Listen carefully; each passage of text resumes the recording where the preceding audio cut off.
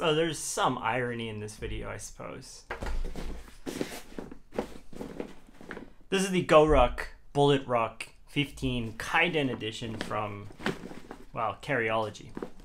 Carryology is a, a online publication that talks about carry and all things carry.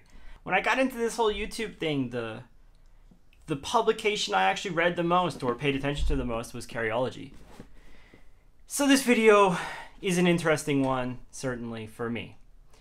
Um, I have a trip. Um, a, I'm doing a kind of a commission for street photography where I have to take so many photos within uh, each month for a, a kind of um, an exhibition at the end of the year. Uh, and I'm I go to Seoul to take photos for that, and I'm just gonna show you how I'm gonna pack this bag for that trip. The mood of this video might be somber. It's not meant to be somber. I mean, look at the color of the bag. Nothing somber about that. Now, this is just a very regular Bullet 15, aside from the color. Um, quickly, I, I don't want to get into the specs of this bag per se. Um, I have really very much enjoyed it, and uh, it was a gift from my wife for my transition. Uh, it's a slick version of the bullet, so you don't have any MOLLE webbing here. It's made in RVX25, which is a 250D faced um, material, X-Pac material uh, in this blaze orange. AquaGuard zippers has a number 8 AquaGuards on the front and back, and then uh, a number 5 on the top and patch field, and that's kind of it. Otherwise, it's very similar to your standard Bullet Ruck 15 top handle and all. So for this trip, like I'm gonna stay there for two nights. I know the Bullet Ruck seems like a small bag for that type of thing, but you know, I think it'll do the trick for what I need. Now, uh, I forgot to take these out before I started the video because, like, wouldn't you have it, I actually unpacked to do this because I thought it was a good time to do it. So, uh, this is a Nedrolo sleeve in the back here. I actually don't have my laptop because I don't need it for this trip, but normally if I have it, I put it in here. This thing makes every bag a laptop bag, so works great for that. I just have my cable. Um, I can show you for posterity. There's my uh, hand sanitizer, and this is a, a cable. This is a cable winder, um, also from Nedrolo. Just kind of has some magnets, keeps these things together. I love that company. Lots of great stuff there, so I'm happy to have stuff from him. So I'm just gonna put that in the mesh pocket here. This is a 15 liter bag, but it packs like a lot bigger than that. I find for my own personal um, use. Uh, so I have a 10 liter packing cube here. It's not super stuffed, but it's pretty stuffed. Um, has enough clothes and emergency stuff for a couple of days um, if I need. So that just kind of slots right there in the bottom. Um, my toiletries are in this uh, Dan Matsuda pouch. Uh, it lies pretty flat and can work as a sling if I need it to. My tech and all my, like, whatever I'm gonna hopefully maybe not need, but probably will need, uh, lives inside this Filip Raboch custom pouch that he custom made for me. Like, look at all those details. It is, I don't know, is it focusing? Yeah. So very cool, this pouch, and it goes with me everywhere. So those those three pouches fit in there perfectly. I could lay this one sideways if I wanted to, but I'll keep it like that. In this top opaque pocket here, um, I'm just going to put my wallet. Um, I carry this uh, thing from Alpaka. Uh, it's like a hub. Thanks, Kirk. Uh, there is a, um, I have a, an Alpha 19er wallet I keep in here, a pen, and uh, a Swiss Army knife, and that's all that really lives in there. But it's basically my wallet. I'm gonna put that in the top pocket here. Uh, also in that top pocket, I'm gonna have my headphones, cause you know, headphones, you need them. Keep that there. And then, last but not least, I just have a little pouch. This pouch actually just holds um, like batteries and stuff for the camera I'm gonna take to use for the trip. So that also easily fits in there.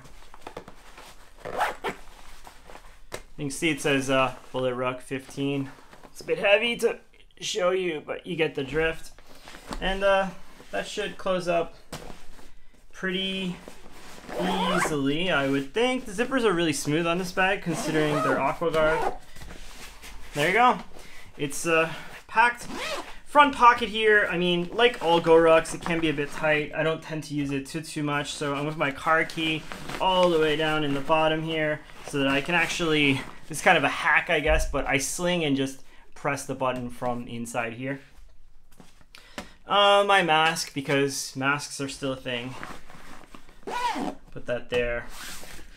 And then uh, the main reason I'm taking this bullet is because of this pocket. Now, I don't love the quick access pocket that much these days because it gets in the way of the laptop compartment. But since I don't have a laptop, what this works perfectly for is my camera. Now, I'm shooting this project on a camera you might know, but probably might be shocked. Um, I just, I love this camera for street photography. Very easy to use and, uh, you know, what you're used to works. A nice dispatch strap there. So that slots perfectly in this pocket here. Now this leads me a little bit to uh, the main point of the video since I am completely packed up now. So I could have probably shown my face in this video and the main reason I'm not is because well I'm a little bit nervous and I don't want to get emotional. This is probably going to be the last um, straight bag video on my channel. Um, for the foreseeable future because now you can see me somewhere else. I'm, I'm doing videos for Carryology.